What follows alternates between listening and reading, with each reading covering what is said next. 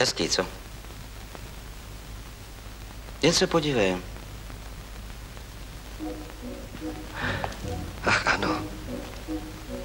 Bych se dívat. Snad do skonání světa.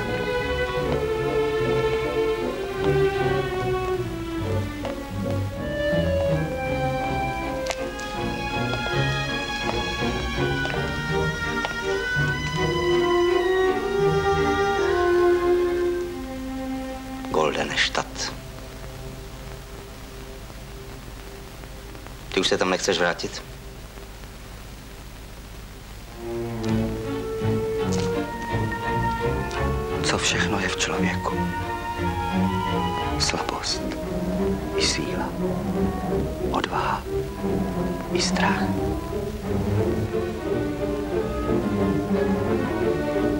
Mrtví jsou vždycky poraženi na obou stranách fronty. Idylická pražská procházka lstivého komisaře gestapa Béma a komunistického hrdiny bezvázně a Hany Julia Fučíka. Byl to heroický mýtus anebo svědectví o statečnosti člověka? No, já myslím, že to nelze takto jednoznačně určit, protože určitě to v sobě obsahuje jak svědectví o jednom konkrétním člověku, tak samozřejmě ten nános toho mýtu. Eh, ta scéna je podle mého názoru evidentně inspirovaná Biblí, eh, pokoušením Ježíše Krista a jak si už z toho vidíme tu stylizaci, že Fučík eh, to pokoušení komisařem Bémem stylizuje do této biblické roviny jako mystické pokušení, kdy tedy může se vykoupit tím, když přistoupí na podmínky toho ďábla a on to neučiní. No, myslím, že to byl příběh statečného člověka, který se stal námětem heroizovaného mýtu a nejen heroizovaného, ale také v mnoha směrech vysmívaného součásti v podstatě nejen české poválečné kultury, ale i folkloru. Jaký byl vůbec Julius Fučík, abychom tedy pojmenovali hlavního hrdinu tohoto příběhu? Musíme tu Fučíkovou osobnost eh, vnímat v několika rovinách. První je Julius Fučík jako aktivista komunistické strany Československa, jako eh, tedy politický žurnalista. To je jedna součást jeho života. Druhá součást je Julius Fučík jako literát, jako literární kritik, literární historik, zabývající se dějinami české literatury. No a pak třetí rovinou je tedy Julius Fučík jako uh, odbojový pracovník protinacistického odboje. Takže to jsou ty tři roviny jeho života, které uh, samozřejmě se prolínají, ale je nutné mít na paměti, že asi jinak psal Fučík, když psal ty literární kritiky a jinak, když psal uh, politické články uh, a jinak tedy potom se choval i v té ilegalitě. No a nad tím vším je samozřejmě ten mýtus, který byl vytvářen eh, po druhé světové válce, se kterým samotný Fučík už neměl co dočinění. No jaký byl Julius Fučík? No jako literární historik uh, bych řekl, že byl obratný žurnalista, uh, velmi dobrý divadelní kritik, zejména ve 20. letech. Um, a pak byl vlastně příslušník své generace, to znamená generace avantgardního hnutí uměleckého, kulturního, který prošel jednou eh, z typických cest, teda těch eh, té své generace. Ta generace se eh, několikrát ehm, vlastně rozcházela, na několikrát rozcházela s komunistickým hnutím.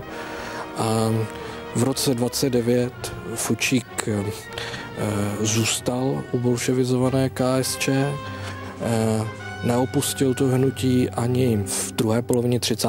let v souvislosti se vztahem eh, k procesům v Sovětském svazu, kdy zase odpadla část té, eh, té avantgardní levice. Pak to byl člověk, jehož, eh, abych tak řekl, další vývoj asi ho velmi zaskočil sovětsko-německý pakt v roce 1939. Asi nebo určitě. Určitě. A, eh, ale nalezl potom vlastně v tom odboji jakoby velkou příležitost spojit, eh, abych tak řekl, ten, tu tu svou hlubokou víru v komunistickou ideologii s nějakým citem a vztahem k národu. A to, myslím, je, je, jako dominuje tomu jeho odbojovému příběhu v letech 1941 a 42. A nad to se jednou v životě projevil jako, jako mimořádně nadaný spisovatel, který se, abych tak řekl, se svou, sešel se svou chvílí a to je té známé reportáži psané na oprác. Já bych chtěl hned říct jednu možná ne úplně tradiční věc e, a na to se odvolávám na Bohumila Hrabala, který v jednom rozhovoru e, tvrdí, že existují tři velké reportáže e, v, v, literatury, v literatuře světové. A to jsou De Bello Gallico Giulia Cesare, kniha Mojžišova a Fučíkovo a Fučíkovo dílo. To myslím, že Hrabal myslel naprosto uh, upřímně, protože ta kniha, já to mám vyzkoušeno i o studentu, já nic uh, třeba o té knize neříkám, dávám to přečíst a studenti jsou opravdu z té knihy nadšení. Jako oni samozřejmě chápou, že tam určitá ideologická patina, ale cítí nějak z té knihy uh, přesvědčivost. Mluvíme-li ovšem o mýtu, který se později z Fučíka, už tedy bez Fučíka, vytvořil, Nebyl on, co, co současně nevytvářel on sám mýty, protože jeho reportáže například ze Sovětského svazu zemi, kde zítra znamená včera, ku příkladu, to, to je čirý mýtus, dokonce já bych eh, si dovolil říct, že to je lež. Reportáž pro literáta 20. a 30. let není to samé jako pravda.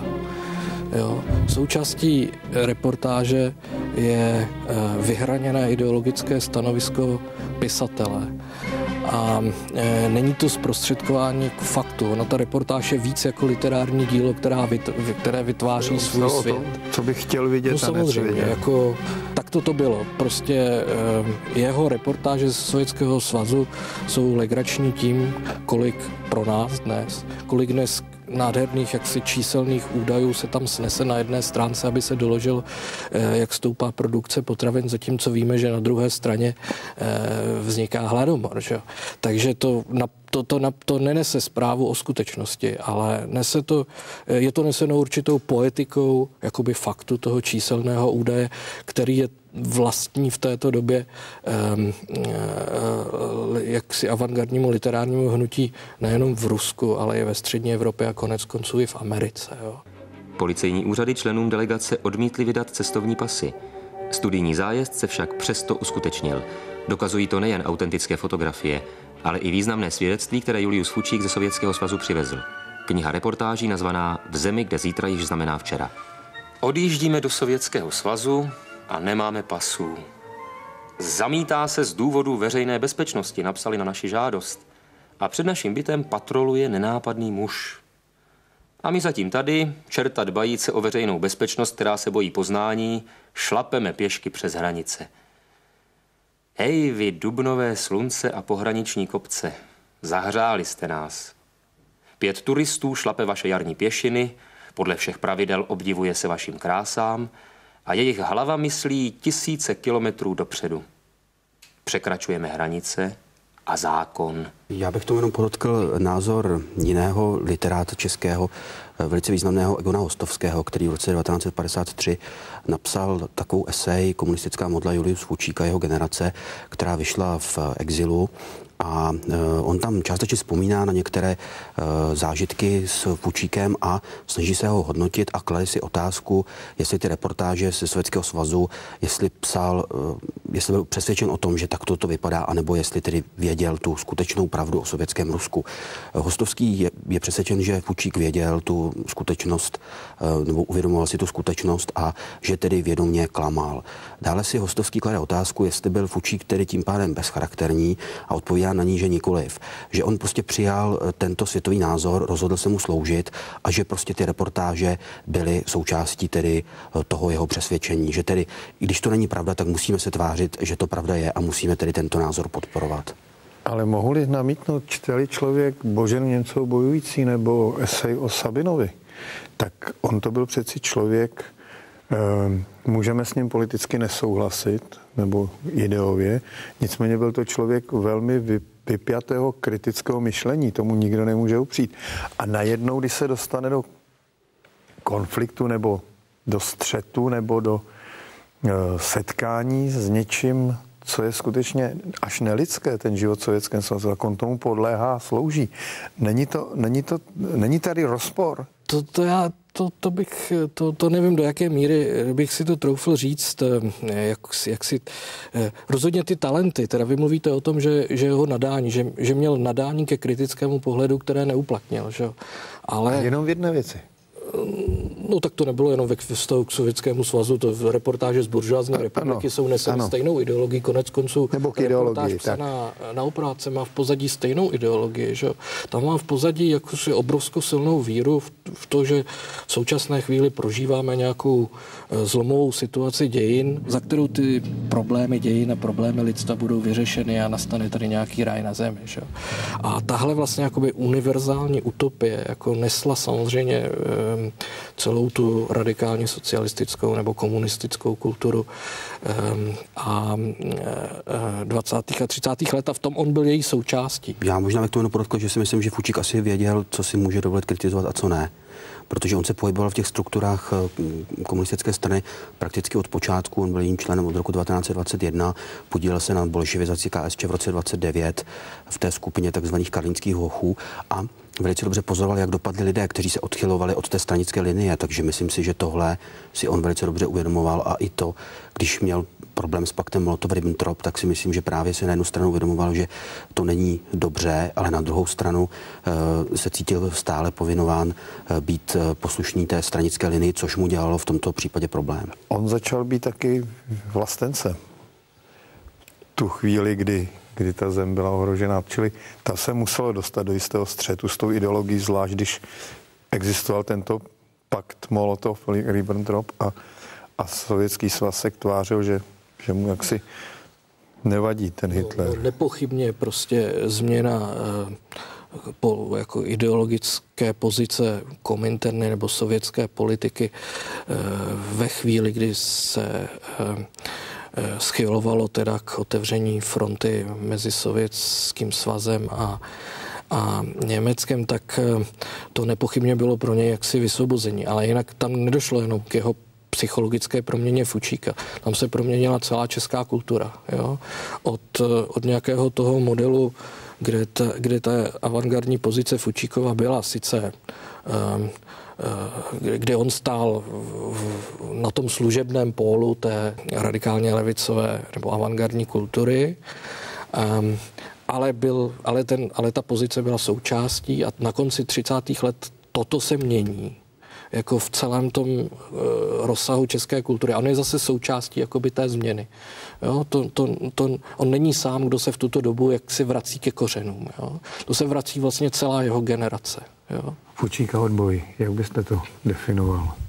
No tak uh, už uh, jsem zmiňoval, že měl problém s tím paktem Molotov-Ribbentrop uh, a Známe například dopis z listopadu 1939, který Fučík poslal své důvěrné přítelkyni Eleně Hálkové, ale ze kterého tedy vyplývá, on tam říká, odešel jsem z Prahy a netrápí mě už Molotov tak, jak mě trápil dřív, ale nemáme jaksi žádný důkaz typu nějakého denníku nebo e, přímo dopisu, kde by psal své kritické výhrady. Nicméně to, že Fučík se distancuje prakticky od toho prvního legálního UVKSČ, nepůsobí v jeho strukturách, si myslím, že už je jasný důkaz toho, že s tou s, s tou sovětskou politikou tehdy nesouhlasil a nechtěl se ani zapojovat do odboje. Takže on vlastně odchází z Prahy, pobývá na venkově a jak si do té odbojové práce se nezapojuje a ani se zapojovat nechce.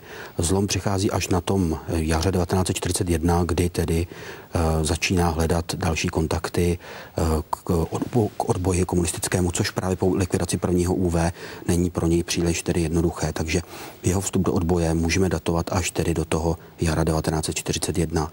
Takže uh, když tedy si uvědomíme, že v dubnu 42 byl Fučík zatčen, tak skutečně to jeho fungování aktivní v tom protinacistickém odboji nebylo zas tak dlouhé, jak by se mohlo tedy jevit zpočátku. Tak Fučík se eh, zapojil do komunistické legality eh, poměrně pozdě. On nebyl spolupracovníkem prvního ilegálního vedení, ani nemohl být, protože eh, platila zásada, že na té legální činnosti si nemají podílet známé osobnosti a on známou osobností byl.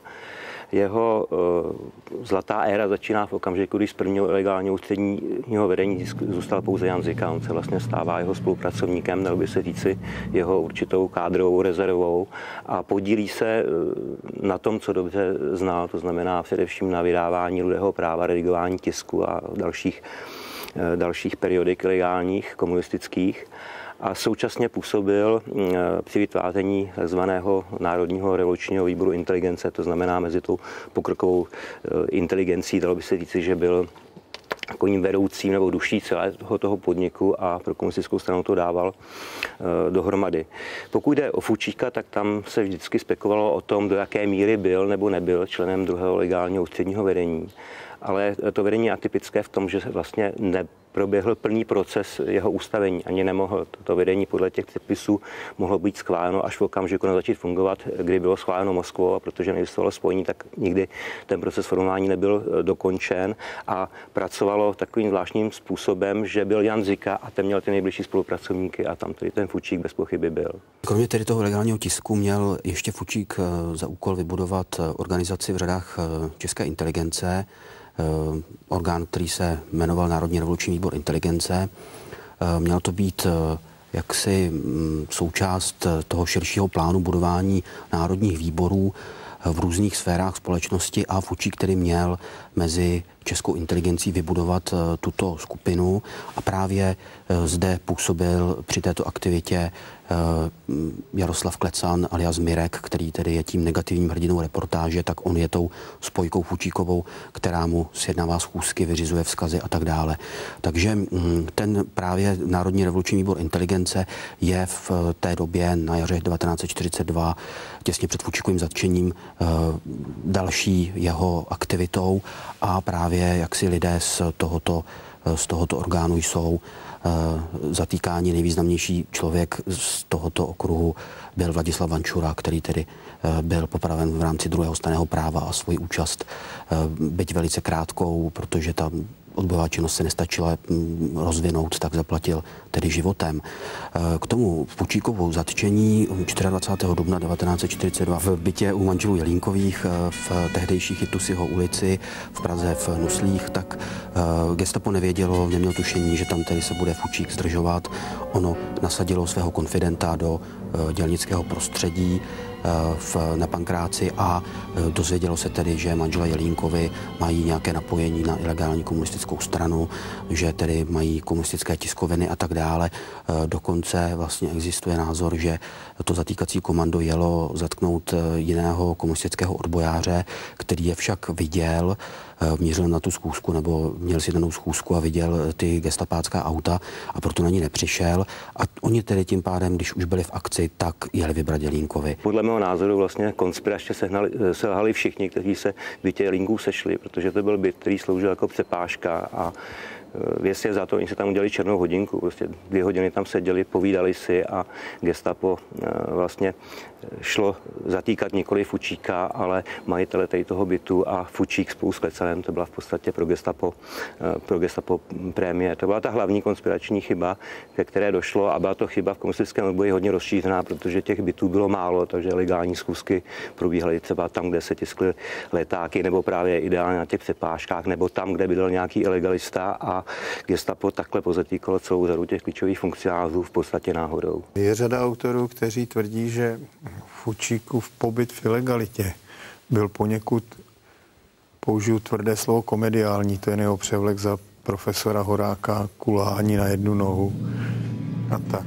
Takhle řekl bych, do důsledku dotažené divadelní převleky nebyly úplně e, časté. E, například vojenští odbojáři si nechávali obarvit vlasy, měnili samozřejmě vousy, to všechno v rámci toho, aby nebyli poznáni na ulici, ale uh, aby tady někdo ještě to doprovázel tím efektem kulhavé nohy, tak s tím jsem se nesetkal, takže jak si může to působit lehce úsměvně, ale uh, Pučík to tak cítil, že jak si tímto způsobem odvádí pozornost, takže by mu to příliš nevytýkal. On měl jeden zásadní problém, že byl známou postavou. On měl prostě známou tvář a prakticky jediný způsob, jak ji mohl zamaskovat, tak aby se mohl prostě pohybovat, bylo nechat si narůst plnovou, takže pozice, prostě volba té eh, profesora Horáka, co by prostě nějaké fiktivní postava, kterou se bude schovávat, byla v podstatě ideální.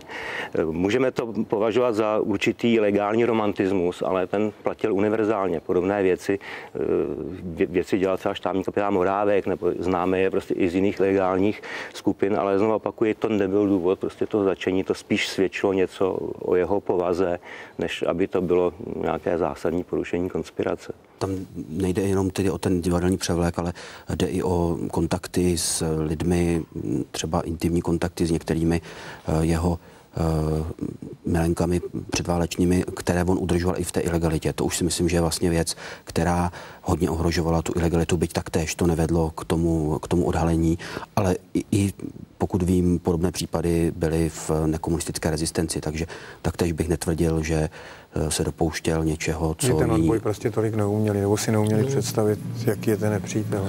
Eh, no, ve chvíli, kdy jste se to začal učit, tak už jste mířil z pravidla buď eh, do koncentráku, nebo na popravu. No. On se ovšem dopustil zásadního nedodržení komunistických instrukcí při tom zatčení.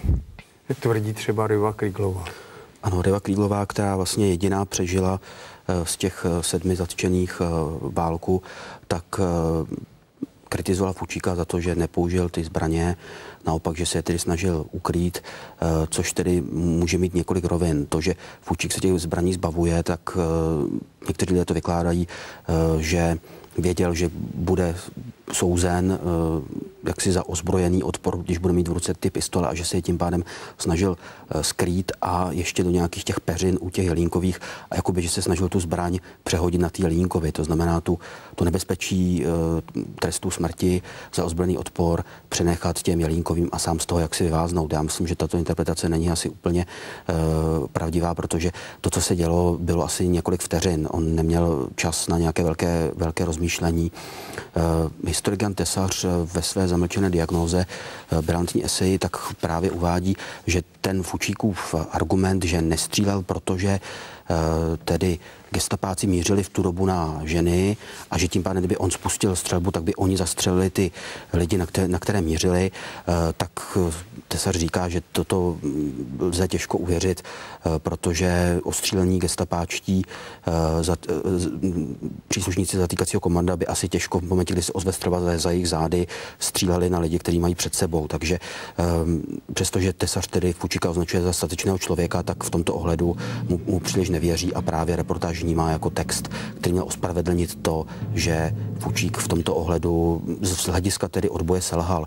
Já bych zase, zase řekl, že uh, to nebylo nic zcela výjimečného, že přestože vojáci dokonce měli uh, přikázáno, aby se zatčení bránili se zbraní v ruce, aby nepadali uh, gestapu do rukou bez odporu, tak řada z nich Eh, tu zbraň taktéž nepoužila. Takže eh, to, že k tomu došlo, bych zase nevnímal jako něco zcela výjimečného. Kdyby on splnil to, co říkal desatero pro ty ilegálnou práci, kdyby on se řídil podle toho, že mu dali zbraň jako funkcionáři s tím, aby, aby bojoval, aby se bránili, a potom poslední kulku nechal pro sebe a kdybychom všichni zahynuli, tak by se ten náš případ nerozrodil, protože eh, známo, eh, Fučík říká, že všechno to prozradil Mirek.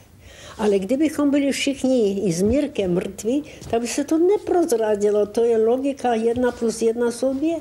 Komunisté řešili eh, problém eh, právě s tím, že v případě vždycky začení došlo k prozrazení celé sítě. Prakticky si nedokázali vysvětlit, proč eh, ti lidé na gestapu mluví a obdobně jako u těch jiných legálních skupin prostě tady působil strach z toho gestapa a existovala instrukce, že ti klíčoví funkcionáři se mají, mají spáchat sebevraždu, buď použít ciankály, co bylo běžné i v tom občanském odboji, anebo tady prostě zbraň střílet zabít. Byla to skutečně prostě instrukce, která byla v takzvaném legálním desateru a Fučíkovou povinností bylo buď se pokusit o útěk, a nebo prostě se začít prostě bránit a padnout tedy v, tom boji a to on prostě nezvládl. On se prostě zachoval z hlediska těch pokynů nebo to, co měl udělat přesně opačně, než bylo žádoucí a z jeho pohledu, protože on samozřejmě těch debat jak se chovat v případě zatýkání se aktivně účastnil, si jednalo o neomluvitelné selhání. Samozřejmě potom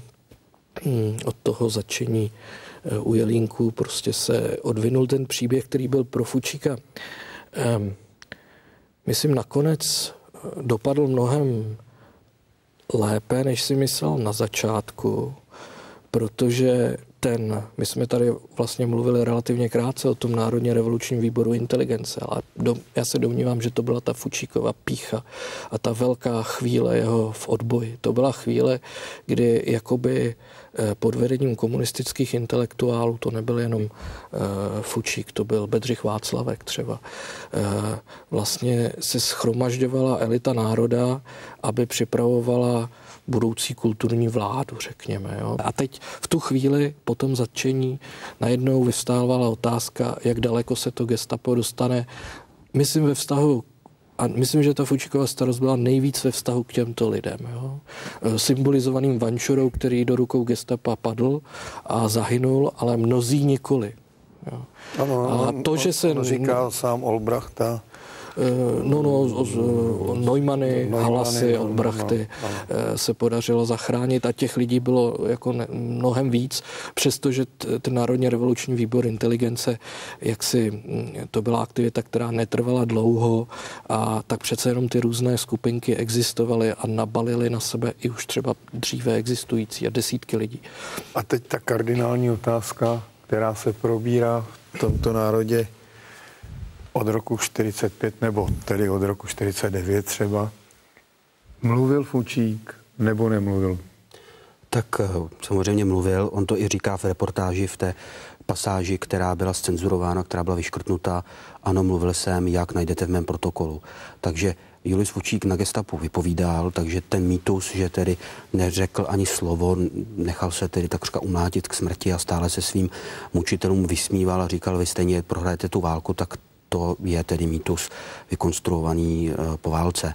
Stejně tak je i mýtus eh, tvrzení, že Julius Fučík byl konfidentem gestapa který byl veden až do té tedy směšné uh, legendy o tom, že, utekl do Bolívie. utekl do Bolívie a tam tedy zemřel někdy v 80. letech.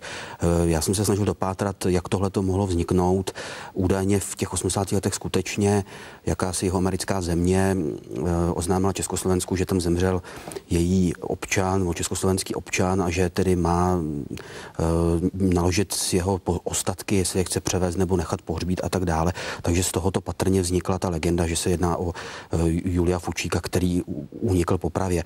Eh, ty dokumenty o jeho popravě v Berlíně Plecnze samozřejmě existují, takže... Eh, I když je tam nepřesné datum. ano. No, opravené datum. Tedy. No ale to, to, to, opravené datum to je velmi jednoduché. Prostě v berlínské věznici na konci srpna čekalo 400 lidí na, na popravu. popravu. Při bombardování padla část stěn, byla provedena urychlená poprava ve třech dnech a z toho zřejmě e, vyplynula ta oprava potom v datu. Každopádně toho 8. byla popravena většina z těch církev. A nikoli v gilotinou, ale e, No bylo to velmi nepětným způsobem. Pokud se nepletu, tak byli ti lidé vytahováni po osmi na, na nějakou zeď, kde byly háky a tímto způsobem udušení. Pokud jde o Fučíkovo chování na gestapu, respektive o to, do jaké míry vypovídal, tak bohužel tedy existují protichůdné názory. Na jednu stranu se staví Fučík, na druhou stranu se staví eh, Klecán a eh, vlastně v těch interpretacích je to postaveno buď ten nebo ten a vůbec se neuvažuje, že tam mohl být prostě i nějaký vzájemný vztah z hlediska gestava, protože oni byli blízcí spolupracovníci. Nelze to samozřejmě rozhodnout definitivně, protože máme pouze omezený počet pramenů. My můžeme vycházet z toho, jak probíhalo zatýkání v té síti, z toho se dá uvažovat na ty výpovědi, ale pokud jde o původní dokumenty gestapa, máme k dispozici vlastně pouze dílčí protokoly Klecanovi, které začínají hnedka potom začení tři dny na to Klecan už podepisuje první protokol a u Fučíka máme pouze závěrečný protokol. A pak samozřejmě to i to, co šlo k soudnímu projednávání. Ten, přitom ten závěrečný protokol vlastně schrnuje výpovědi pro soud, takže nedá se z něj uvažovat na to, do jaké míry kdo zavinil co v jakém časovém sledu, ale zdá se, nebo je hodně pravděpodobné, že tím hlavním hybatelem byl Klecan. Pokud jde určitě o tu inteligenci, o Národní revoluční pro inteligence, tak tam jsou asi klíčové ty výpovědi Klecanovi, který vlastně první rozkryl tedy tu síť, ale samozřejmě je to zase jenom hypotéza, která odpovídá těm pramenům, které máme k dispozici. Ale ještě jak se vrátil, tedy co mluvil? Co mluvil, tak eh, právě máme zachovaný ten eh, protokol, který tady s kolegou Janáčkem momentálně připravujeme k edici, takže doufám, že se tím již ukončí všechny ty konspirační teorie a legendy o tom, eh, co Fučík tedy byl nebo nebyl. Takže když to vezmeme od začátku, ten první, to první zatčení a první výslech, uh, jsem přesvědčen, že Fučík skutečně nemluvil. To, co popisuje v reportáži, kdy je tedy takřka umlácen k smrti, to všechno si myslím, že samozřejmě takto proběhlo. A pak přichází situace, kterou tedy Fučík popisuje eh, v závěru reportáže, kdy pochopil, že mlčet je pasivní a že se rozhodl aktivně vstoupit do té, do té hry takže eh, s gestapem. Takže eh, On vydržel ten první výslech, vydržel to fyzické násilí, což je tedy vysoce obdivuhodné. A tedy, mm, když zjistil, že gestapo s výslechem dalších spoluzatčených, především tedy Jaroslava Klecana má již ty informace a směřuje právě k lidem z české kultury, jako jsou ty již zmiňovaní lidé jako Ivan Olbrach, František Halas a další, tak se rozhodl tedy jejich pozornost odvést jiným směrem a proto tedy aktivně vstoupil do té hry. Vyhodnotil to tedy tak, že mlčení by eh, bylo eh, pasivní, bylo by špatné, tím by se on připravil o možnost nějakým způsobem dále zasahovat do toho vyšetřovacího procesu a proto se tedy rozhodl vypovídat. Pokud jde o takzvanou Fučíkovou hru, tak eh, podle mého soudu to bylo to samé, co hráli i jiní odbojáři. To byla v podstatě hra o to, že ten soudní proces se odloží do té doby, než eh, vlastně dojde k porážce Německa. To byli lidé, prostě, kteří věděli, že neujdou sekeře, že budou prostě popraveni a víceméně vymýšleli různé postupy tak, aby se to vyšetřování eh, protahovalo a ten spis se nedostal k tomu státnímu návladnímu a potom se ten lidový soud. Samozřejmě bylo to založeno na tom, že měli dobré vztahy s těmi vyšetřovateli, to znamená, že s nimi navázali nějaký osobní kontakt fakt, eh, že byli v jakémsi výjimečném postavení ve srovnání s jinými vězni, to znamená, že způsobili jako ty Hausarbeitři, nebo prostě měli přístup k těm gestapákům, ale používaly se i ty metody, že se používaly i dodatečné mm, výpovědi, to znamená, že se sami přihlásili k výpovědi a uvedli nějaká nová fakta a na základě toho se zase prostě prodloužilo eh, to vyšetřování, byla to prostě hra o život právě slova smyslu. Nezapomeňme, že eh, to zatýkání u Jelínku bylo 24. Eh, dubna 24. a eh, za měsíc máme Heidrichiádu. A stané právo, lidi chodí po desítkách nebo po stovkách na popravu. Otevřený případ a kdo, kdo jak si byl ještě v nějakém zajímavém vyšetřování na gestapu, mohl být ponechán, eh, jak si až teda přejde ta, tento největší nápor, abych tak řekl, té práce související eh, s tou, s tou, přík, s tou jako krutou příkladnou represí. A evidentně, eh, i když, ta, i když to vypovídání začalo zřejmě dříve, tak je možné, že, že v tuhle chvíli eh, Fučík jako exponoval té, ty své příběhy a dodal do nich ještě další, další abych tak řekl, nějaká vnadidla. V zásadě to hlavní, co, co, co nabídl a co tvrdil i po válce tedy Josef Bem, že tomu vlastně nikdy tak úplně nevěřil, ale, eh, ale eh, eh, nicméně s tou stopou se také vydával, tak, tak byla představa, že Fučík sám není nějakým centrálním funkcionářem komunistické strany, a že je pouze součástí jakéhosi širšího ochranného kruhu kolem ústředního výboru a že že komunistickou legální stranu eh, v protektorátu řídí někdo neznámý, možná Jan Šverma, Každopádně, že jsou tady nějaký skuteční vedoucí takového kalibru, abych tak řekl, kteří přiletěli z Moskvy a se kterými se setkávají prostřednictvím nějakých které v osob, které si Fučík vymyslel, které byly fiktivní. A to bylo také teda vlastně podnětem k těm eh, výletům eh, do Bráníka, eh, kde se čekalo na, BM, na, na, no, na, spojku. na spojku. Pokud jde o vztah Fučíka a komisaře BM, tak si myslím, že ta psychologie působila z obou stran. Tam šlo o to, nejenom o to, že tady vlastně Fučík věděl, že ten BM je, je tou klíčovou figurou, která může odložit ten spis do nějaké pozdější doby ale hlavně prostě problém, a to byl první velký případ, na kterým on si chtěl dát prostě záležet a samozřejmě chtěl, aby prostě výsledek té jeho práce byl co nejlepší. Před tím Bem vlastně byl naprosto zadové pozici. Půčíka e, nedostal, při tom vlastně vyšetřování se rozkryvala ta síť a dostal ho právě k přípravě toho závěrečného protokolu. V podstatě dalo by se říct, že z pohledu gestapa tam skládal jakousi mistrovskou zkoušku, takže i on měl prostě zájem s tím Fučíkem komunikovat, aby to výsledek té jeho práce byl nejlepší. Není to legrace? Ty jsi zatčenej a lidi se hemžejí dál jako dřív. Bavěj se. Mají svý starosti.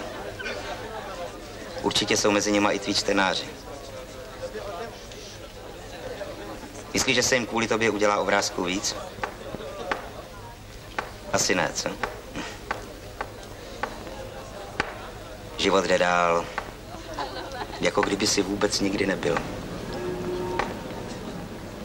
Tak tohle je život.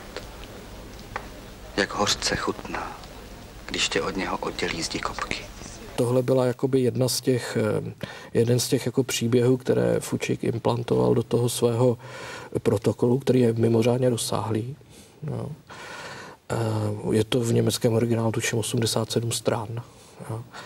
A potom postupoval způsobem, který je asi není tak vzácný eh, u eh, vyšetřovaných ilegalistů, to znamená do skutečných situací dosazoval pokud možno osoby, které byly mrtvé nebo osoby, které odešly do ilegality. Jsem se chtěl zeptat, dotkl se to někoho, kdo mohl být ohrožen? Ty, eh, tak určitě se to některých lidí dotklo. My právě nemáme eh, k dispozici všechny ty protokoly, protože ono záleželo na tom, to, to dochování těch dokumentů, jak ti lidé skončili. Když například šli do koncentračního tábora, kde zahynuli, tak ta jejich agenda vlastně je dneska nezvěstná. Zatímco Fučík s Klecanem byli souzeni berlínským lidovým soudem a tam právě se zachovali ty ty, protokoly. Takže to zatýkání samozřejmě pokračuje. Byla zatčena Anna Jirásková, což byla manželka syna Aloise Jiráska a byla popravená právě během starého práva, během několika týdnů, eh, tedy skončila na popravišti, přestože Fučík, Klecan a další jsou, jsou ještě vyšetřováni. A co, co postaví jako třeba Václav Černý, o kterém se říká, že o něm mluvil? Ano, vlastně eh, jeden tedy z lidí, o kterých gestapo nemělo, po, nemělo povědomí, o kterém Fučík, který jeho jméno Fučík vyslovil, byl právě literární historik Václav Černý. Uh, oni ty výslechy Klecana, alespoň na mě to tak působí, on byl uh, vlastně dělník, on to byl člověk, který byl v, interbriga- v interbrigádách ve Španělsku a rozhodně se nějak neorientoval v české kultuře a nebyl žádným intelektuálem. Takže pro něj ty lidi, se kterými se i stýkal, byli prostě nějaká jména a nevěděl, co je za nimi. Takže myslím si, že můžeme říct si takřka s jistotou, že právě na základě jeho výpovědi byl zatčen Vladislav Vančura, kde on říká, jaký si, spiso, jaký si Vančura snad spisovatel. Klecanovi teda. Klecanovi. Ne, Fučíka, ne, Klecanovi. Ne, ne. Víme, že ty, ta první zatýkání se od Fučíka neodvíjela. To je poměrně zcela jasné z těch protokolů, zejména Jaroslava Klecana. Tam bohužel skutečně došlo k tomu a to bych řekl neubírá hrdinství eh, Jaroslavu Klecanovi prostě, eh, ale eh, bohužel prostě... Jak to řekl ostatně o Fučíkovi, ale týká se to všech Peroutka Ferdinand. Člověk není odpověden za odolnost nebo neodolnost svých nervů. Nikdo se nemá dělat přísným soudcem nad situací, ve které sám nebyl. Jo, no, no. Takhle, takže v, tom, v rámci té, do, té, do toho fiktivního příběhu, jehož cílem bylo tímto způsobem v podstatě co nejvíc odvádět pozornost eh, od těch eh, předních kulturních osobností. V nekomunistickém odboji byla taková mm, zásada, že zatčený odbojář měl vydržet tři dny nevypovídat. Že jaksi nebyl kladen eh, nárok na to, aby nevypovídal vůbec, ale aby vydržel první tři dny. To a to Fučík vydržel. A aby právě do té doby se ti lidé, kteří přežijí na svobodě, tak mají zlikvidovat ilegální přepážky, o kterých zatčený věděl. Lidé, kteří jsou ohroženi, mají buď odejít do, do ilegality nebo do zahraničí. A vlastně má se všechno uklidit, aby po třech dnech ten člověk mohl začít vypovídat a nikdo nebyl ohrožen. Teď jsme mluvili o příběhu člověka, který možná v něčem drobně selhal, v něčem taktizoval, ale v zásadě přišel o život ve jménu své vlasti. Tomu prostě nikdo nemůže upřít. Proč udělali a kdo dopustil, že se z Fučíka stala po, po válce v podstatě směšná figurka, že jeho kniha byla tedy scenzurována, že v ní tam zůstaly jenom ty věci, které nemohly ani jemu ublížit, ale vůbec udělali z něj takového. Proč na úkor jeho třeba byl odstrčen na stranu třeba zrovna ten Vančura nebo Václavek, velké postavy také komunistického odboje bez sporu. Ale hlavně, proč to došlo tak daleko, že my jako děti jsme se prostě posmívali a při některých, eh, řekl bych, pološikanozních hrách jsme si hráli na vyšetřování profesora Horáka, svítili jsme mu, mluvili jsme o tom spolu před natáčením lampičkou, které jsme říkali Fučík do obličeje a říkali Fučíkovka, říkali jsme Horáku, přiznej se si Fučík, kdo tohle dopustil a kdo je tohoto, za toto vinen. Je zajímavé, že tím Fučíkovým kultem u nás se zabýval uh, literární historik Vladimír Macura, který upozornil jako na to, že v tom Fučíkově kultu bylo zdůrazňováno jeho mládí že skutečně ten fučík měl být stále symbolem toho mládí. Jeden z těch sborníků, tuším se jmenoval Milenec života, eh, což mohlo být i vnímáno trošku dvojsmyslně vzhledem k těm buržoazním líbůstkám, které tedy eh, si eh, Fučík dopřával, jak píše Hostovský. Takže on byl stále prezentován jako ten věčně živý, věčně mladý a asi ten záměr byl, že tímto způsobem právě bude oslovená mladá generace. A je poměrně symbolické, že pád toho Fučíkova kultu začíná v prosinci 1980 1989 u jiného symbolu mládí a sice u zdi Johna Lennona v Praze, kde tedy naprosto nesouvisející, nebo není tam souvislost, ale bylo tedy při eh, shromáždění v prosinci 89 eh, u této zdi přečteno svědectví z památníku Terezí, které mělo dokazovat, že tedy Fučíková reportáž není pravá. Takže u jednoho mýtu eh, nebo u jednoho mm, vlastně hrdiny pro mladou generaci je bořen mýtus hrdiny odcházejícího tedy z, z toho výsluní dějin. Spravedlivě, protože reportáž pravá je. Paní Pučíková přijala cenu udělenou statečnému českému novináři Juliu Pučíkovi za jeho knihu Reportáž psaná na obrázce.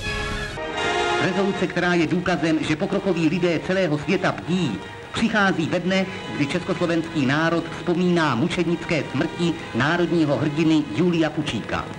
V rezoluci Združení demokratických právníků ožívají poslední slova Pučíkova. Lidé bděte. Jedním z laureátů Československé ceny míru je národní umělec profesor dr. Max Švabinský. Cena míru byla velkému umělci udělena za portrét národního hrdiny Julia Fučíka. Já bych podotkl, že vlastně hned po té válce nebyl Fučík jaksi opěvován, protože právě se zmiňovala řada dalších jiných, eh, nejprve i nekomunistických odbojářů po únoru 48, už především komunistických. A eh, k příkladu vyšla, vyšla kniha dopisů, poslední dopisy eh, komunistických představitelů, kterou redigoval František Halas. A tam je Fučík jeden z mnoha. A jak si najednou dochází k tomu, kdy tedy nejprve se ta skupina těch národních mučedníků. Oni ten kult, oni to potřebovali ve všem. On se redikuje nejprve tedy na ty komunistické uh, odbojáře a pak tedy už na, pouze na toho Julia Fučíka. A já se domnívám, že uh, tam byl veliký vliv ze strany Sovětského svazu. Uh, nechci tvrdit, že to jako přišel tento nápad ze Sovětského svazu. Určitě Václav Kopecký tam se hrál uh, klíčovou roli, Ladislav Štol jako přítel Julia Fučíka, ale uh, nese to podle mého názoru určité rysy těch sovětských hrdinů typu uh, Stachana a dalších, že prostě tedy... Stachanova. Stachanova, pardon. A Pavky Korčagina. Ano, Pavlíka Morzova. Pavlíka Morzova. A těchto, těchto osob, kdy tedy se zkreslí, zamlčí se některé ty skutečnosti, vytáhne se pouze to, co se hodí té ideologii a tvoří se z toho hrdiny vzor hodný následování.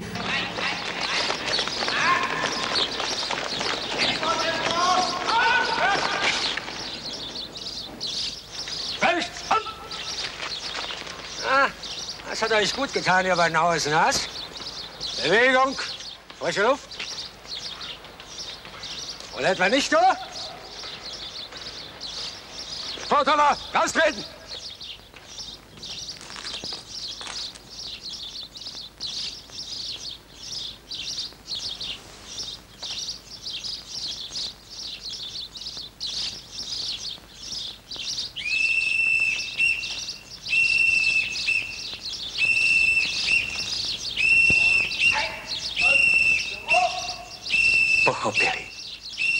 kladivo a kosa, kladivo a srp.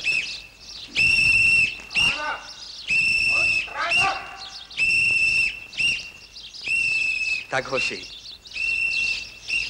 to je náš májový tábor. A tohle cvičení, to je náš májový slib, že třeba na smrt jdoucí, věrní zůstane. Myslím si, že komunistická strana vlastně mm, eh, abych tak řekl, svou, či, svou činností a činností eh, teda komunistického odboje eh, za války získala obrovský kapitál, který, eh, který katapultoval, co se týče obliby mezi veřejností na krátkou dobu, na nějakých těch 40 procent z v roce 46, že z nějakých, já nevím, 10 procent, kolik byla průměrně ta radikální levice předtím. A Nepochybně se, se, se hledali v, v propagandistickém centru komunistické strany symboly, eh, kterými by tento trend byl potvrzen a vlastně jako kterými by započal ten příběh té velké národní komunistické strany. A jako, eh, jako takový se Fučík nabízel prostě tím, nejenom tím, že měl tedy nějaký um, že, že padl, abych tak řekl, jako, jako za války, jako, že byl hrdinou v tomto smyslu jako mnozí jiní, ale on prostě napsal tu reportáž. A to ve chvíli, kdy se to evidentně dostalo, reportáž eh, se po válce přičiněním těch, kdo ji vynášeli a uchovávali za protektorátu, dostala do rukou Gusty Fučíkové, ta ji předala eh, vrcholným orgánům strany a zřejmě, protože jsou svědectví, že ta rozhodnutí eh, předával Rudolf Slánský, padlo v nejvyšším vedení rozhodnutí, že tedy ano, z tohoto tady bude teda ten, tady vytvoříme ten symbol a abychom ho vytvořili, eh, to je krátkozraké rozhodnutí, tak musíme eh, vlastně tu, eh, promiňte říct, upravit. musíme vykleštit. Jo. Jestli, protože ve chvíli, kdy z celé té reportáže, kterou od začátku prochází motiv hry, jo, karetní hry a, a různých her, tak ve chvíli vy, vy, vyhodíme tu poentu, ve které se autor hlásí k tomu, že on sám také je součástí té hry, tak vlastně jako zbavíme tu hru nějakého dramatu teda zbavíme tu, ten text nějakého dramatu, který se v tom odehrává a nějakého, eh, nějaké jako vnitřní polemiky. Jo. Eh, ani ten příběh Klecanův potom nevyznívá tak jenom jednoduše, jako vyznívá, že? a tak dále. Ale nicméně tedy pro, pro jakoby krátkodobé, řekl bych, propagandistické zájmy a proto, aby se to stalo textem vysloveně geografickým, to už není potom ten moderní literární text, který je v něčem ambivalentní, jo? co se týče třeba hrdiny, že? Eh, a jeho hodnoty, toho, jestli jedná správně, nesprávně tak, eh, tak, eh, tak se rozhodli z toho, z toho udělat teda tu velmi jedno, jakoby jednoduchou legendu a ještě ji potom mnoha je ještě jednoduššími texty interpretovat a, a, a teda vlastně jakoby vnutit obyvatelstvu. No. A tenhle vynucený kult samozřejmě vyvolává reakci, zcela přirozenou reakci kritiky, posměchu, nedůvěry a, nedůvěry a to. Očividně eh, komunistická kulturní politika potřebovala silný text, ke kterému vlastně odkázat hned po válce. Fučíkovo dílo obsahuje v podstatě všechno. Obsahuje kult mládí, obsahuje kult bojovného komunisty, obsahuje kult mučedníka, který za ide jde až, až vlastně do konce. Proto už vlastně těsně po válce se rodila myšlenka tu knihu propagandicky používat. Samozřejmě komunistům puritánským, který byli v té době, řekneme klidně stalinistům, ta kniha v něčem i vadila a vadilo to tam přesně na konci, že Fučík vlastně se upřímně hlásí k tomu, že mluvil. A tam je ta, ta, ta, ta, ta, ta známa pasáž, co byla dlouhá léta nebo desetiletí vlastně cenzurována. Což je vlastně nejzajímavější jako část knihy, protože tam končí divadlem, co začalo tím slavným obrazem kina jako na začátku knihy. Samozřejmě to eh, na eh, obraz, ale jako čistého mučedníka by se to nehodilo, že nějakým způsobem Fučík mluvil, ta kniha byla od začátku cenzurována a e, my máme vlastně o, teď už zmapovaný velmi dobře ohlasy ty knihy v Čechách i na světě. Prostě číslo edic ty knihy ještě v různých, liter, v různých literárních kontextech je nejpřeloženější česká kniha vůbec, jako jako v dějinách. Pánové, já vám moc děkuji, že jste si se mnou povídali o pozoruhodném příběhu z české historie, který vlastně až teprve teď dochází ke své pravdě. Děkuji vám za vaši účast a vám divákům děkuji, že jste se dívali na pořad o Juliu Fučíkovi. Historie CS loučí. Naschledanou. Naschledanou. Desátý sjezd komunistické strany Československa skončil. Krásné, znovu zřízené prostory paláce odevzdal ministr kultury Václav Kopecký jménem strany pražským občanům pro Fučíkův park kultury a oddechu. Největší radost z upraveného výstaviště měli ti nejmenší. Zaplnili houpačky a skluzavky a jejich veselý křik se rozléhal celým parkem. Kolotoče a všechny atrakce Lunaparku si v den zahájení rozhodně nemohli stěžovat na malý provoz. Hudba tanečního orchestru zněla ve všech prostorách výstaviště. Ode dneška bude park Julia Fučíka sloužit dobré zábavě a oddechu všech Pražanů.